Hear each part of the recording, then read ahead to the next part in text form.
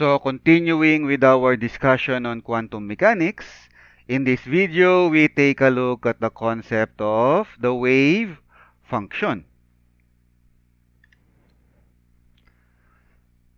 The wave function psi of x t. A moving particle has both energy and momentum and as such is a de Broglie wave as we have discussed in the previous video. It has wavelength and somewhere along this length, somewhere along this wavelength is the location of the particle. For example, if the wavelength of a de Broglie wave is 1 meter, somewhere in this 1 meter length is the location of the particle. But where exactly is the particle located? Where exactly can the particle be found? This question may be addressed using psi of xt, which may be considered to be the wave function that is describing a de Broglie wave. Waves are defined by the wave function. The same goes for the de Broglie wave. It is described by the wave function. Now, normally, say in mechanical waves, the wave function basically describes how the mechanical wave affects the medium through which it travels. So, for example, y is equal to cosine of xt plus minus omega t. That's a typical equation for a sine wave. Y describes the displacements of the particle with respect to what is referred to as the equilibrium position of the particle. For a de Broglie wave, the wave function basically describes the chance of finding the particle within the wavelength. So, in this part of the wavelength, what are the chances of locating the particle? If you look at another point in the wavelength, what are the chances of finding the particle there? That's basically described by the wave function psi of xt. It is the square of the matter wave, the square of the amplitude, the square of square of the amplitude, rather square of the wave function, absolute value of psi squared, gives the probability that the particle will be found at a particular position and time per unit length, what we refer to as the probability density. So square of the absolute value of psi is the probability density from the probability density, we are able to calculate the probability of finding the particle. P from x to x plus delta t, probability of finding the particle in this interval x to x plus delta t plus delta x is equal to the integral of the probability density times dx. This equation reduces to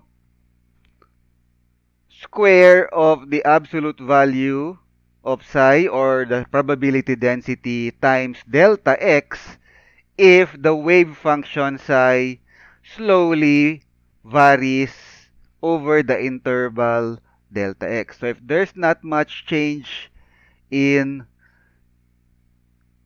the wave function,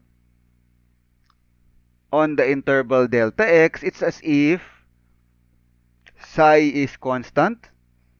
So we can take it out of the integration. We are only we are only integ we take out psi out of the integration. We are only integrating delta x, a uh, dx rather. Integral of dx is just x. So for final minus initial will give you delta x. if we are to look anywhere along the x-axis, so if we, instead of simply going from x to x plus delta x. Instead, we look anywhere along the x-axis. It stands to reason that the chance of finding the particle is 100%. P is equal to 1. So where exactly is the particle? Two answers exist. When the observer is not looking or the particle is not being otherwise detected, the particle is everywhere. The particle can be anywhere. When the observer is looking at a particular location or particular position, the particle from being everywhere, the particle will jump into that particular position with the probability given by P. This jumping of the particle into that position, when we look into that position, is a process called state reduction or wave function collapse. This answer is called the Copenhagen interpretation of the wave function. Meaning, this answer, these two answers, for the most part, is what is referred to as the Copenhagen interpretation, meaning when you are not looking, the particle is everywhere. But when you look at a particular position, there's a chance that a particle will suddenly appear in that position given by the probability P.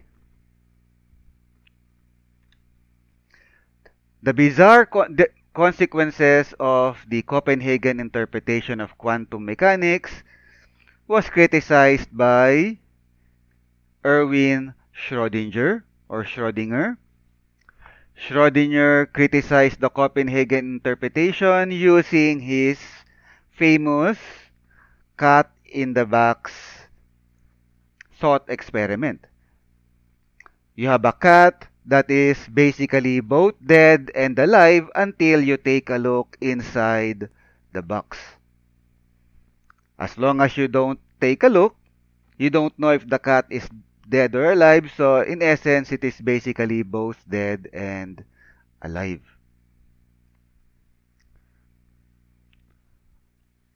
A peculiarity of the quantum theory is that the functions are usually complex functions, particularly the wave function psi.